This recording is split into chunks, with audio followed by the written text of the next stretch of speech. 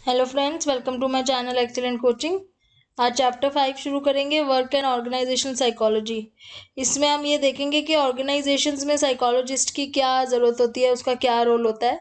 Companies में, जैसे अलग अलग कंपनीज़ में एचआर डिपार्टमेंट के साथ साइकोलॉजिस्ट भी काम करते हैं तो उनका क्या रोल होता है। तो सबसे पहले यहाँ पे शुरू करेंगे पर्सनल सिलेक्शन से।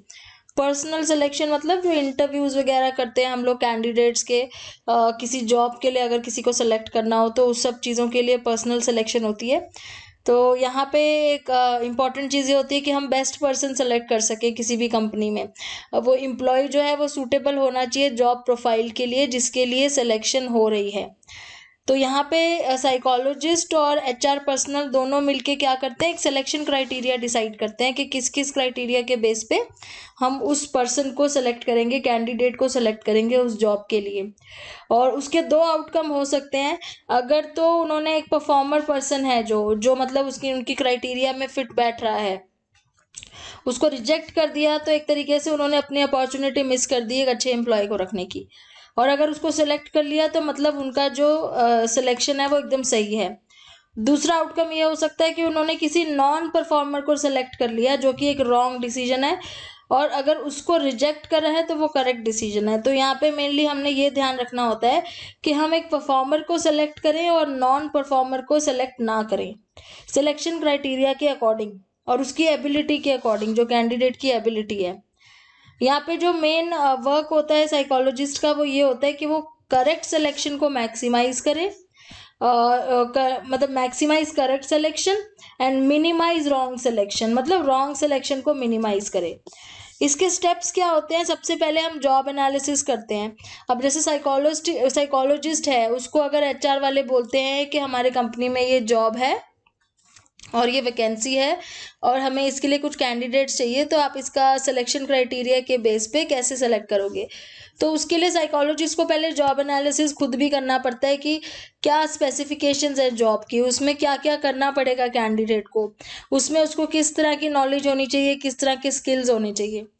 तो जो साइकोलॉजिस्ट है वो जॉब एनालिसिस करेगा, कैसे करेगा, वो जो एग्जिस्टिंग एम्प्लॉयज़ हैं जो ऑलरेडी उस चीज़ के ऊपर काम कर रहे हैं। जैसे मान लो मार्केटिंग के डिपार्टमेंट में अगर वो है वैकेंसी निकली है तो साइकोलॉजिस्ट मार्केटिंग डिपार्टमेंट में जाएगा जहाँ पे ऑलरेडी कुछ एम्प्लॉयज़ काम कर रहे होंगे, उनका इंटरव्यू लेगा, उनसे पूछेगा कि वो किस तरीके की स्किल रिक्वायर होती है मार्केटिंग की जॉब के लिए।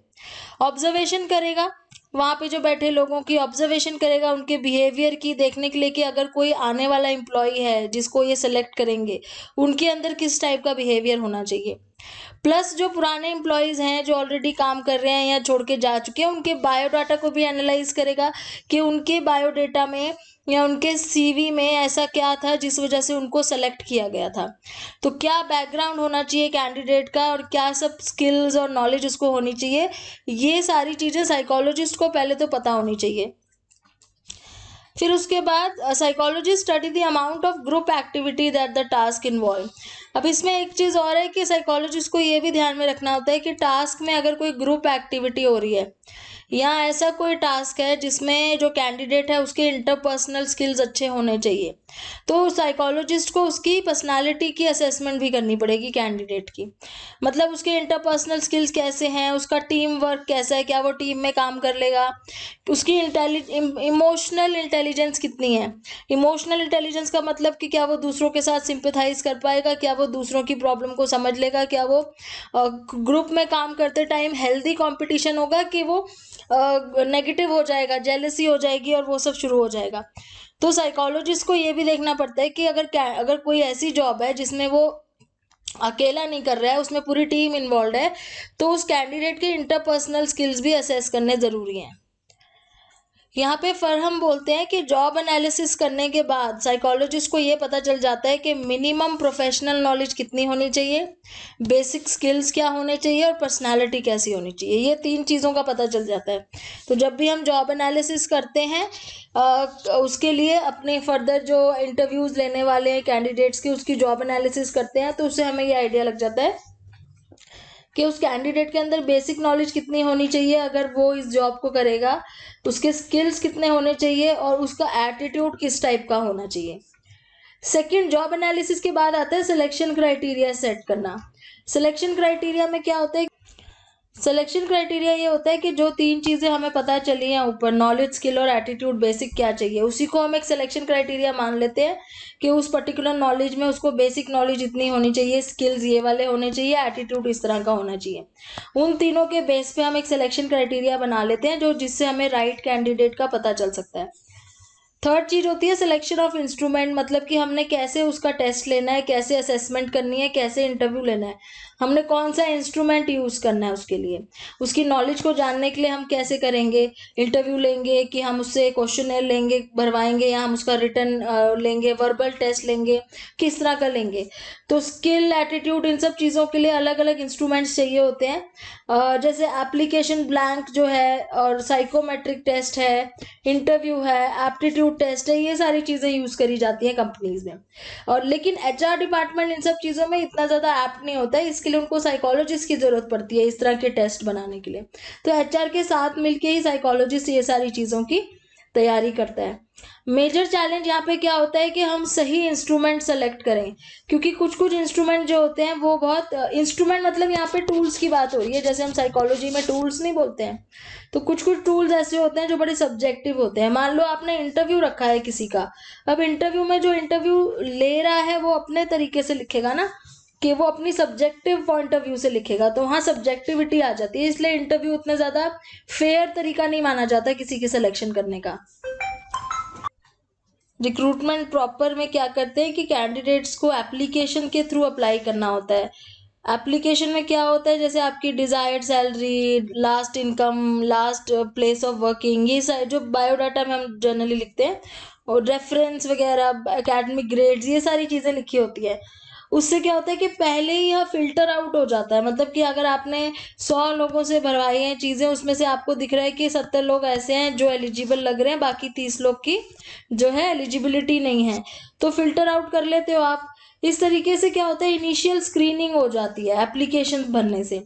और कैंडिडेट्स को फिर तभी बुलाया जाता है जो एलिजिबल होते हैं उस टाइम पे जॉब करने के लिए और उनके ऊपर ही फिर सिलेक्शन इंस्ट्रूमेंट यूज़ किए जाते हैं। मतलब फर्दर जो भी इंटरव्यू लेना है या साइकोमेट्रिक टेस्ट लेना है, उन्हीं के ऊपर लिया जाता है। तो इससे थोड़ा सा फ़िल्टर आउट करना ईजी हो जाता है इनिशियली फिर आता है next human resource development and training अभी तो जो हम पढ़ रहे थे वो पर्सनल सिलेक्शन के स्टेप्स थे कि हम पर्सनल सिलेक्शन में क्या करते हैं।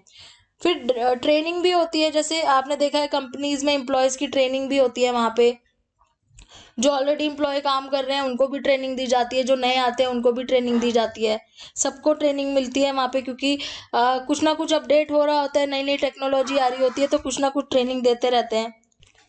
प्रतीक ने यहाँ पे डिफाइन किया है एचआरडी को as a new systematic approach to proactively deal with issues related to individual employees teams organisation and movement to develop organisation capability to manage change and challenge मतलब कि ये बोल रहे हैं कि एच डी का काम क्या है? एक सिस्टमेटिक अप्रोच बनाना है प्रोएक्टिवली जिससे वो इंडिविजुअल एम्प्लॉयज़ को या उनकी टीम्स को या पूरे ऑर्गेनाइजेशंस को डेवलप कर सकें, उनकी कैपेबिलिटीज़ को डेवलप कर सकें ताकि वो चेंज या चैलेंज को मैनेज कर पाएँ।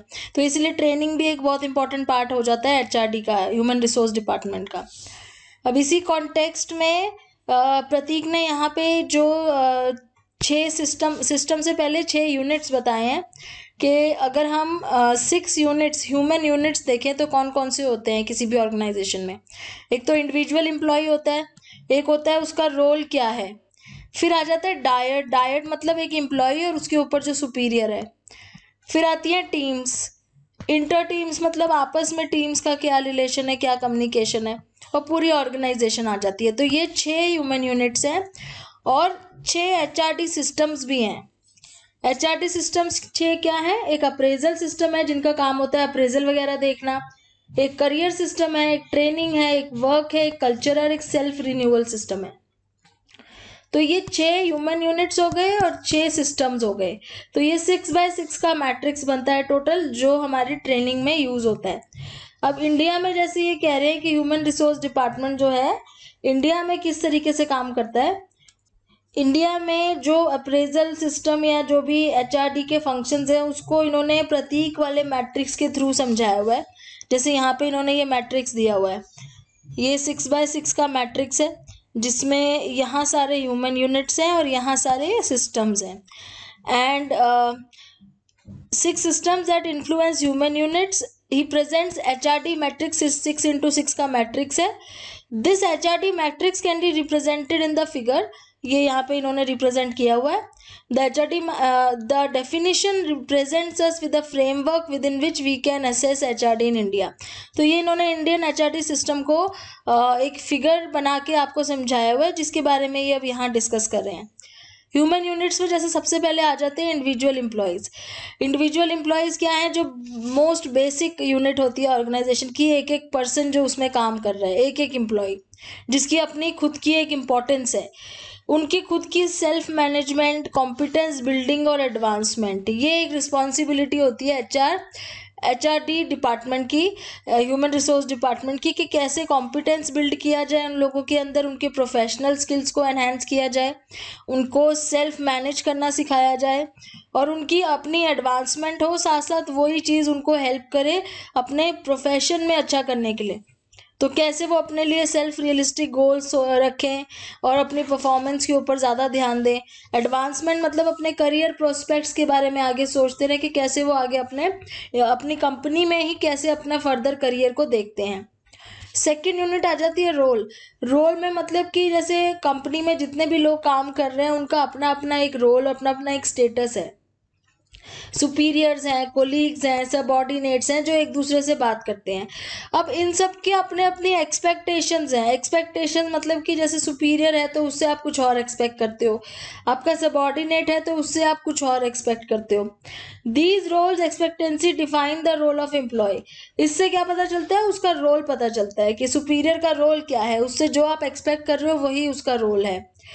तो ये रोल आपके स्टेटस को आपके आ, आपके जो भी एक्सपेक्टेशंस है, उसको बताता है आपका रोल क्या है। और this is an important unit if the role is neglected अगर ये रोल निगलेक्ट हो जाए कई बार तो सिचुएशन कंफ्यूजिंग हो जाती है। मतलब कि आपसे कुछ और एक्सपेक्ट किया जा रहा है और आप वो चीज़ नहीं कर रहे हो। एचआर आपको उस चीज़ में नहीं स्किल कर रही है ट्रेन कर रही है तो फिर कन्फ्यूज़न क्रिएट होती है। तो इसलिए रोल डेवलप करना भी बहुत ज़रूरी है। The three main aspects of development of roles with which HRD concerned are optimum stress, autonomy and linkages.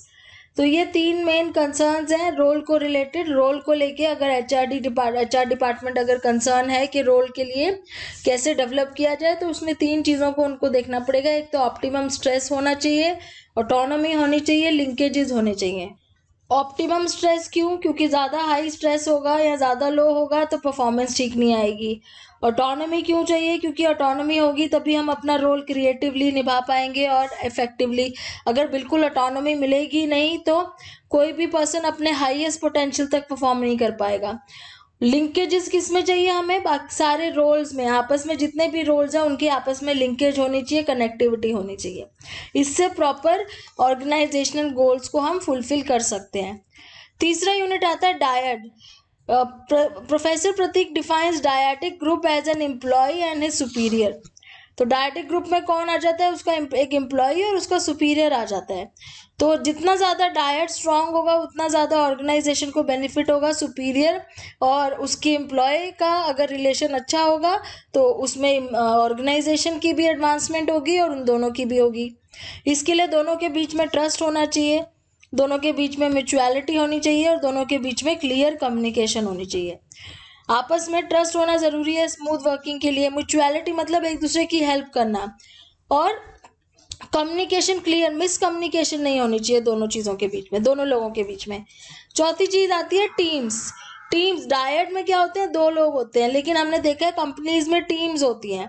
तो अगर कोई सॉफ्टवेयर कंपनी जो है सॉफ्टवेयर कंपनी है, जैसे इन्होंने एग्जांपल दिया है उनको एक कंसल्टेंसी असाइनमेंट मिला है असाइनमेंट कौन मैनेज कर रहा है? प्रोजेक्ट मैनेजर कर रहा है। उसके अंदर सॉफ्टवेयर वर्कर्स हैं सारे सीनियर सॉफ्टवेयर वर्कर्स हैं। उनके अंदर ट्वेंटी जूनियर वर्कर्स हैं। तो ये पूरी टीम बन जाती है उनकी। उन तीन पूरी टीम का कॉमन गोल क्या है कि उन्हें एक कंसल्टेंसी असाइनमेंट कंप्लीट करना है। तो इस तरीके से टीम को भी आपस में मिलजुल के काम करना होता है। उनके अंदर कोहेसिवनेस होनी चाहिए। उनके अंदर सिनर्जी होनी चाहिए। इससे ही उनके गोल्स और कंपनी के गोल्स फुलफिल होते हैं। अब इसमें आगे देखते हैं नेक्स्ट यूनिट आ जाती है इंटर टीम्स इंटर टीम मतलब आपस में टीम का कोऑर्डिनेशन कैसा है, उनके बीच में कम्युनिकेशन क्लियर है कि नहीं है? तो आपस में जो टीम्स अंदर, बहुत सारी जो टीम्स हैं अलग अलग कंपनी में, उनके आपस में ऑर्गेनाइजेशन या उनकी आपस में कम्युनिकेशन बहुत क्लियर होनी चाहिए, मिलजुल के वो काम कर पाए। फिर आता है ऑर्गेनाइजेशन इट्सेल्फ तो मतलब सारी चीज़ें मिला के अब एक ऑर्गेनाइजेशन जो बनी है एज अ होल उसको अपनी ग्रोथ पे फोकस करना ज़रूरी है इम्पैक्ट पे और सेल्फ रिन्यूअल पे। तो ग्रोथ कैसे होगी? अगर हम मोटिवेटेड होंगे एम्प्लॉयज़ अपना काम करने के लिए, वो अपना गोल अचीव करेंगे, अपना छोटे छोटे गोल्स को अचीव करेंगे तो ऑर्गेनाइजेशन का पूरा एक गोल अचीव हो पाएगा, तभी ऑर्गेनाइजेशन ग्रो करेगी। उसके बाद फास्ट चेंजेस होते रहते हैं तो उसके लिए सेल्फ रिन्यूअल भी करना ज़रूरी है। जैसे टेक्नोलॉजी बहुत चेंज हो रही है तो उसके साथ साथ अपनी कंपनी में भी एडवांसमेंट वगैरह लानी ज़रूरी है, ताकि कंपनी जो है वो नई चीज़ों के हिसाब से अपने आप को अडेप्ट कर सके। क्या आगे H R D practice in India है, जो हम नेक्स्ट वीडियो में पढ़ेंगे। और ये अभी हम नेक्स्ट वीडियो में स्टार्ट करेंगे। Thanks for watching